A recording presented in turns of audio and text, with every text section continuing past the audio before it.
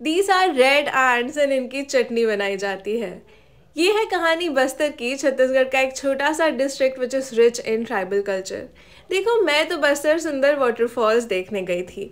मुझे कोई आइडिया नहीं था कि यहाँ की यूनिक कस्टम्स का मुझे फ़र्स्ट हैंड एक्सपीरियंस मिलेगा।